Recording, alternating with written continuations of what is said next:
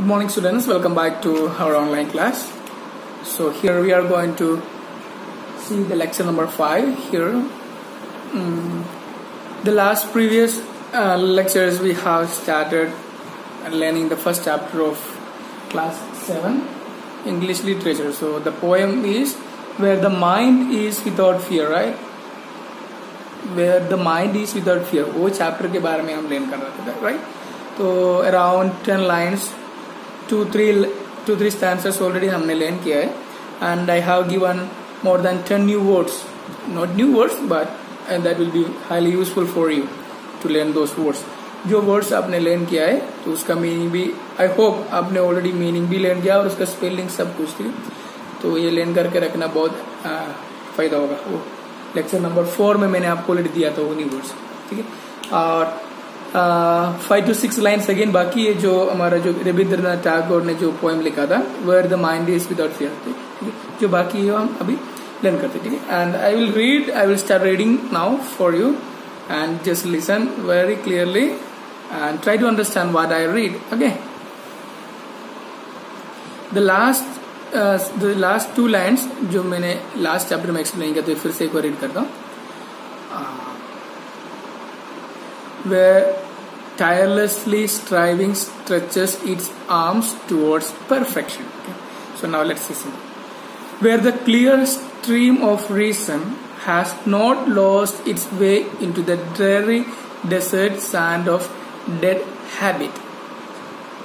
Three lines, it's very important. Where the clear stream of reason, clear stream of reason, the important word important term in this poem that I'm going to write on board. Clear reason. Clear. Clear reason is very uh, reason वजह वजह ढूंढना बहुत important है एकदम clear region clear वजह एकदम सही रास्ता सही वजह हमको ढूंढना होता है ठीक clear reason has not lost its way into the dreary sand of dead habit ठीक है नॉर्मली बिना रीजन हम कुछ भी काम करेंगे ना तो उसको आ, सफल होना बहुत कठिन होता है बहुत डिफ़िकल्ट होता है right it will be very difficult for getting into successful life if we are not doing anything without any reason so if you do something based on any clear reason then it will definitely lead to success that is the aim and that is the meaning of these lines okay and if you are not doing anything without clear reason then it will be like dead habit जो dead habit normally हम एक habit follow करते होगे ना सुबह उठ के prayer करना या अच्छी अच्छी बुक्स रीड करना अच्छी अच्छी वीडियोस देखना जैसे आप अभी वीडियोस देखते हो हर सब्जेक्ट के रिलेटेड आप ऑनलाइन क्लास अटेंड करते हैं ना तो जो चीज़ आपको आपके लिए फ़ायदे की सुविधा हो मतलब something that is beneficial for you and positive for you तो अगर आप, आप करेगा तो उसके पीछे एक रीजन होता है हम कुछ सीखता है आपको बहुत कुछ बेनिफिट मिल जाती है ना। अगर कुछ रीजन बिना हम काम करेगा तो जैसे आप जैसे डेड बॉडी जैसे हो जाता है ना मारा हुआ आदमी की जैसे। कर करो या ना करो जैसे कुछ नहीं जैसे आसिटिस चलते जाते हैं right that is not good कुछ तो करना है तो क्लियर रीजन होना है। That is a very important thing in this that the poet Rabindranath Tagore is trying to teach us. Okay, yeah. Uh, अगर हम कुछ भी रीजन बिना काम करेगा तो वो किस की तरह हो जाएगा। It will be like desert what kind of desert dreary desert dreary means जहाँ बिल्कुल पानी नहीं, एकदम सूखा सूखा जगह, ठीक है? और डेसर्ट को भी ऐसा कहता है where there is no much availability of water and no green areas ठीक है? ड्रेरी मीन्स एकदम सूखा सूखा डेसर्ट ठीक है? अगर हम क्लियर रीजन होगा तो ऐसे नहीं होगा। अगर क्लियर रीजन नहीं होगा तो इस वजह क्लियर रीजन होगा तो डेसर्ट डेसर्ट ड्रेरी जैसे हमारा लाइफ नहीं बनेगा, ठीक है? life must be based on clear reason and if our life is based on all action is based on clear reason in our life will not be like the reason अगर हम कुछ भी reason बिना करेगा तो जैसे सूखा हुआ ज़मीन की तरह हमारा लाइफ बन जाता है ठीक है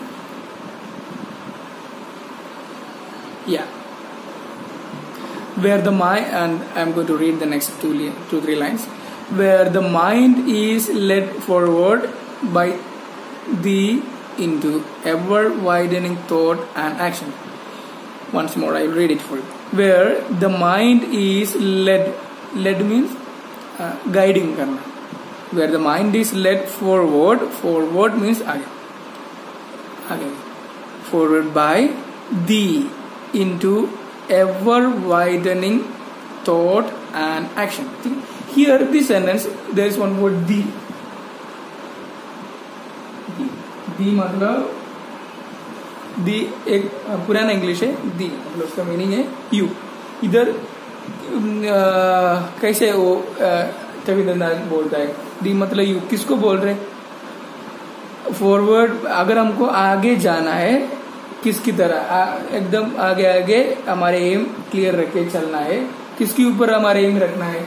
इधर, दी मतलब यू जिसको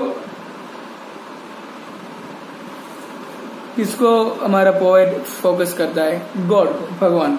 अगर भगवान के ऊपर हमारा भरोसा रखे, हमारा नज़र फोकस रखे, हम हर एक्शन एंड हर सोच सोच और हमारा एक्शन जो भी काम कर रहे हो, जो सोचते हो, एकदम सही तरीका से गॉड के ऊपर कॉन्सेंट्रेट करके करेगा तो वहाँ हमको कभी फेलियर नहीं होता तो clear reason that is based on our self that we do whatever we think that is called thoughts and action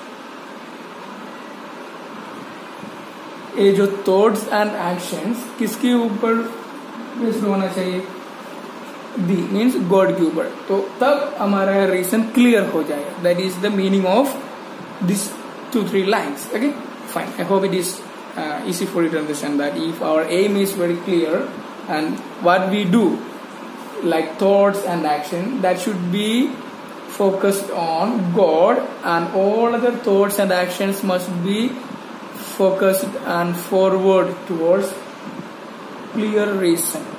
Then our life will be more successful and fruitful. हमारा लाइफ एकदम सही हो जाएगा अगर हम ऐसे ही काम और सोच रखेगा तो this is the meaning of this line and the last two line खाली दो ही लाइन रह गया that I will read it for you okay Into that heaven of freedom, my father led my country awake. Into that heaven of freedom, my father led my country awake. Yeah, the most beautiful two lines that ends with this point is this. Actually, it's a prayer. Yeah, एक प्रार्थना है जो रविंद्रनाथ टैगोर ने लिखा, उन अपना देश के लिए, भारत के लिए। उसने ऐसा बोला, भगवान, मेरा कंट्री जहाँ सब कुछ फ्री मतलब नॉलेज फ्री में मिलना चाहिए, और सभी आदमी लोग मेरा भारत में जो भी सोचता है, जो भी करता है, एकदम रीसन के ऊपर, भगवान की भरोसा पे सब कुछ करेगा। तो सभी लोगों के मुँह से जो वर्ड्स जो भी वाक, जो भी वर्ड्स आता है, वो सब सच होना चाहिए। दुनिया एकदम छोटा करने से बेहतर हम जो भी कुछ कर रहे हमारे लिए और हमारे से जो कनेक्टेड है, पूरा दुनिया को उसका फ़ायदा मिल जाए। ताकि सभी लोगों को एक साथ एकदम शांति से, सुख से रह सके। सबकी माइंड में से डर का एक खराब चीज़ निकल जाए। एंड सबका हेड हमेशा सीधा ही रखना है। मतलब कोई भी कुछ भी गलत काम नहीं करना चाहिए। हमेशा उनका हेड ऊपर ही रखना है, कभी नीचे नहीं झुकना चाहिए, ठीक? तो ये सब चीज़ इच्छा रविंद्रनाथ टैगोर अपना फादर अपना फादर मीन्स गॉड है। गॉड भगवान को प्रेयर करता है कि ऐसे एक लेवल में मेरा देश को पहुंचाना है। भगवान को बोल रहे ऐसे एक लेवल में भगवान मेरे देश को और मेरा देशवासी सबको आप पहुंचाना है, ठीक है? और सभी लोग हर दिन सुबह उठते हैं तो ऐसे एक पॉजिटिव सोच के साथ सब कुछ काम अच्छा से करना चाहिए। यही है रविंद्रनाथ टागोर का the poem name word the mind is without fear actually it's not a simple poem it's one of the most beautiful prayer we can call it as a prayer that Rabindra Tagore prayer to God the father for a kind of dream that has to come to true एक सपना है वो सच होना चाहिए हमारा देश को और हमारा देश के लिए this is one of the best prayer that I have ever seen actually uh, written by one of the most beautiful written, uh, poem written by Rabindranath Tagore okay so हमारा फ़र्स्ट चैप्टर जो first chapter का first lesson के poem we have learn small poem right poem हमने already learn कर लिया है, ठीक है? और इसमें से मैंने जो लेक्चर इससे पहले का जो एक लेक्चर में मैंने आपको बहुत सारे वर्ड्स दिया है द सेम वे आपको मैं इसमें भी नया नया वर्ड्स दे हूँ ठीक है? जो आई होप ऐसा लग रहा है मेरे को सबको समझ में आया होगा राइट जो पूरा poem when the mind is without fear, i think it's, this poem is very clear to you, right? So बाकी जो भी वर्ड्स है, जो मैं आपके लिए भी लिख के दे रहा हूँ, ठीक है सो आपकी नोटबुक में ये सब वर्ड्स लिखे लिखे जाना, ठीक है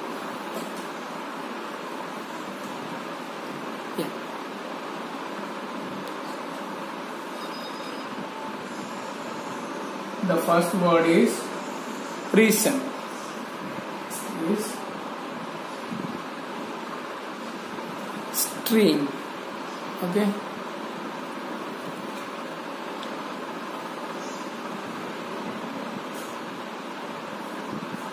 Dessert ये सब चीज़ नया वर्ड्स नहीं है बट किसी किसी के लिए वर्ड्स नया ही लगता है, ठीक है? Fine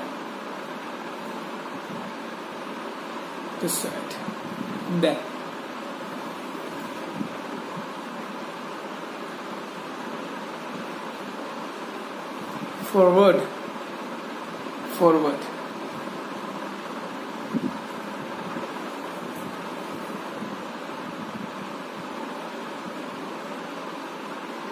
Action action प्रवृत्ति action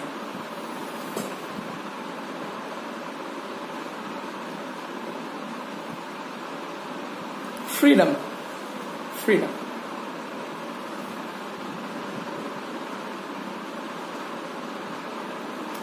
await so this are some of the new words that I find it useful for you ठीक है? ये जो वर्ड्स मेरे को लग रहे हैं, आपके लिए बहुत यूजफुल होगा। तो इसका वर्ड और इसका मीनिंग आप लेंगे ठीक है, एक बार हम रीड करते प्रोनाउंस करना मेरे साथ है।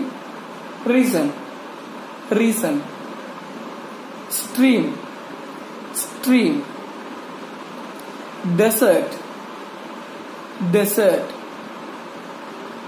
forward forward. Action. Action. Freedom. Freedom. Awake. Awake. So these are around seven words new to you. Maybe not new to you. But anyway you just write in your notebook and learn it okay? So hopefully i think this first poem is very clear to you okay? So one new activity we can just do now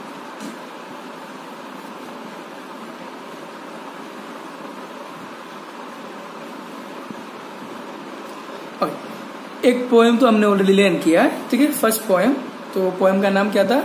और कौन लिखा था?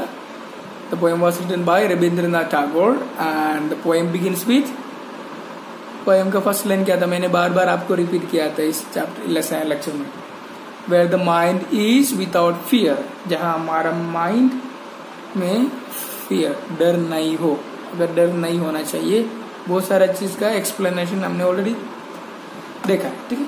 चलो। now let's do one small task that will definitely help you to improve your language so that is sentence making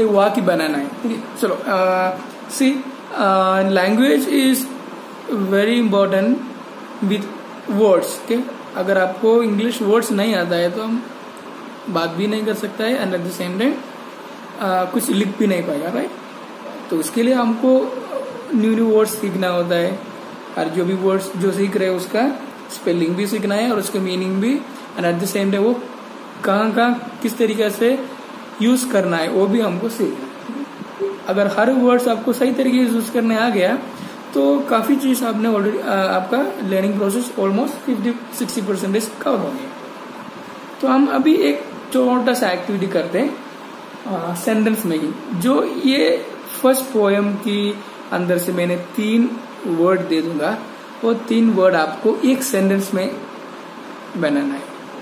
Three words that I am going to give you and that three words you have to make it into a single sentence एक single sentence में three words बनाना तो three words क्या क्या है? आपको देता हूँ।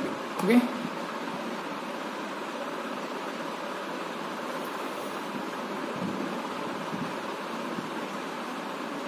fear.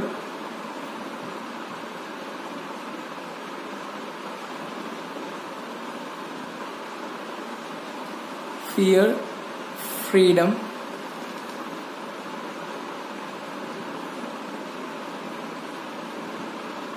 And perfect ये तीन वर्ड है. ये तीन वर्ड मिलाकर आपको एक सेंटेंस तीन सेंटेंस नहीं बनाना, एक ही सेंटेंस बनाना है. एक ही सेंटेंस बनाना है.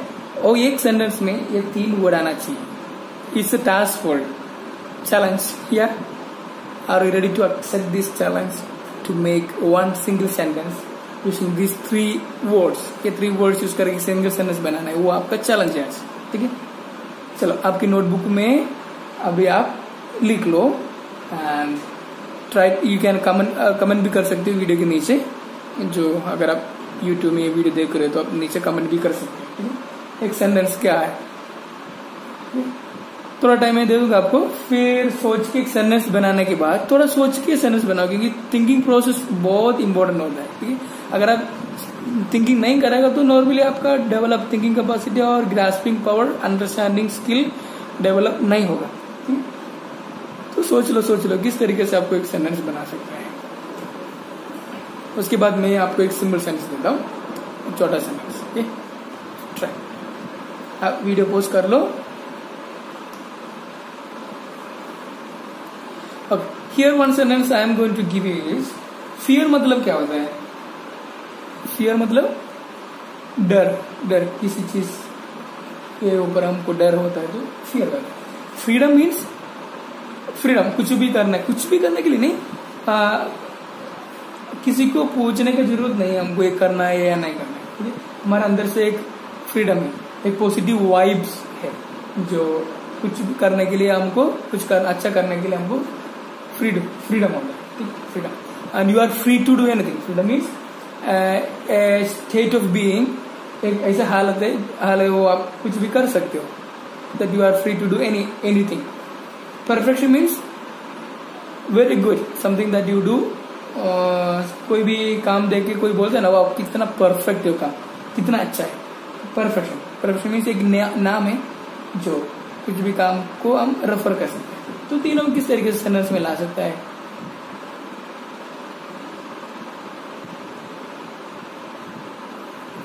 One, these three sentence that can be normally related to one single word, that is. Life. Life is more related to fear, freedom and perfection. ठीक है? और इसमें दो, ये तीन वर्ड में से दो वर्ड तो बहुत पॉजिटिव है। एक तो फ्रीडम और एक परफेक्शन तो ये फियर है, ये थोड़ा नेगेटिव है, ठीक है? तो उसको पॉजिटिव लगाना है। तो पॉजिटिव लाके और तीनों मिला के सेंटेंस कैसे बना सकते हैं। किसके ऊपर, किसके आधार पे? लाइफ की। तो सेंटेंस बिगिन कर सकते शुरू कर सकते हैं लाइफ के ऊपर। तो life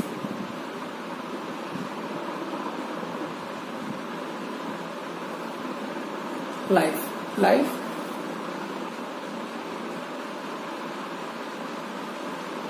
without fear life without fear आगे सोचो, क्या सेंटेंस बन सकता है? लाइफ विदाउट फियर जो लाइफ है ज़िंदगी, जहाँ हमारे को फियर नहीं है तो वो नॉर्मली किसके सामने जाएगा? किसकी डायरेक्शन में? Freedom and life without fear leads किसको लीड करता है? हमें. हमें तो इंग्लिश में क्या कहता है? Leads us life without fear leads us कहा कहा गाइड करता है? लीड करता है? Leads us to freedom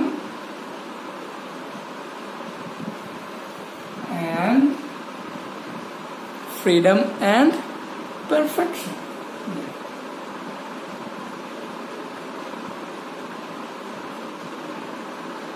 Clear? So sentence is very clear. Life without fear leads us to freedom and perfection. ठीक है So this is the meaning of this sentences. जो life जहाँ लाइफ में अगर फियर नहीं है तो वो नॉर्मल वो लाइफ उनको फ्रीडम में और परफेक्शन में ले जाता है ठीक है that is the meaning of sentence ठीक है I hope you you also made new sentences and whatever it is whether you have made good sentences uh, correct sentences wrong sentences whatever it is no problem Grammar mistake के साथ जो भी बनाना है तो बना लो। ये तीनों वर्ड्स आप अपना सेंटेंस में, तीन चार सेंटेंस खुद से बना लो और प्रैक्टिस कर लो ताकि आपका थिंकिंग कैपेसिटी और राइटिंग स्किल और सोचने का जो कैपेसिटी सब कुछ ग्रामर सब कुछ धीरे धीरे इम्प्रूव हो जाएगा ठीक है?